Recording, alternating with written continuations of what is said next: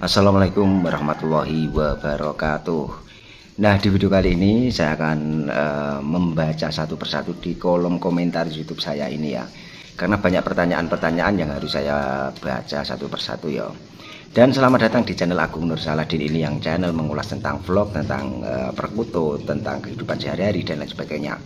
Nah di video kali ini langsung saja ke ulasan ya. Saya akan baca satu persatu. Ini ada akunnya Mas Soekarno Soekarno 8966. Dia bertanya seperti ini untuk sedulur-sedulur semua.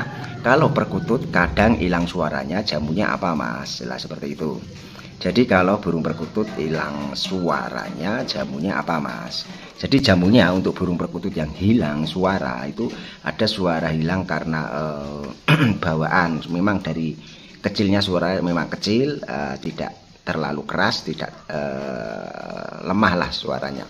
Tetapi ada suara yang memang yang tadinya gacor manggung, tetapi terus uh, sekarang kok menjadi lemah itu biasanya uh, suara tersebut itu hilang karena terlalu panas uh, penjemuran itu bisa karena makanan burung perkutut bisa karena uh, apa pas burung perkutut lagi tidak fit juga bisa. Jadi seperti itu.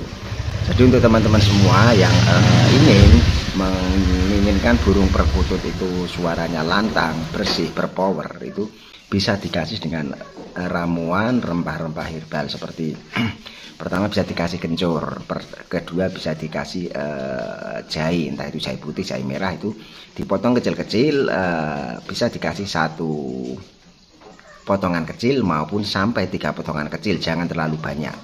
Nah itu bisa mengakibatkan burung perkutut itu mendongkrak suara atau meningkatkan suara yang tadinya suara kecil maupun suara serak bisa menjadi normal kembali.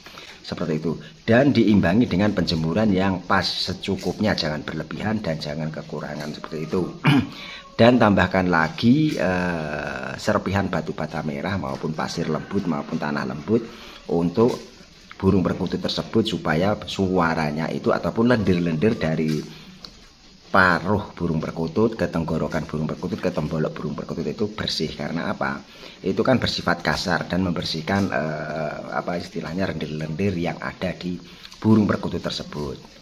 Selain itu yang lain ya yang lain bisa dikasih juga dengan uh, satu butir merica yang sudah kita pecah ataupun kita gigit. Kan pecah itu kita gigit pecah kita masukkan ke paruh burung perkutut uh, lalu dipelirit dari atas sampai ke bawah uh, dan jangan sampai tersedak ya.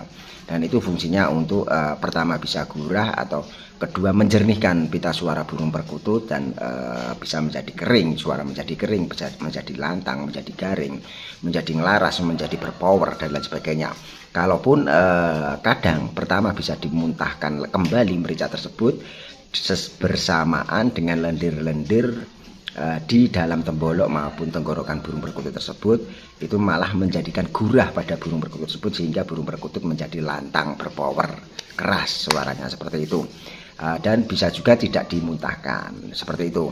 Nah cukup sekian ya uh, yang sudah dipertanyakan dari akunnya Mas Soekarno. Soekarno. Jadi pendek, padat, memang langsung ke pokok permasalahan yang dipertanyakan dia bertanyakan e, tak kalau perkutut kadang hilang suaranya jamunya apa mas? Jamunya kalau rempah-rempah itu tadi yang sudah saya sebutkan. Dan terima kasih ya untuk sedulur-sedulur semua. Saya doakan sehat selalu banyak rezeki yang barokah yang berlimpah diberi kemudahan selalu.